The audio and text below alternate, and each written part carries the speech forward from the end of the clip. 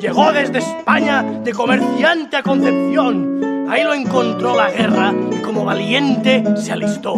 Le ordenaron defender la isla y sin dudarlo aceptó.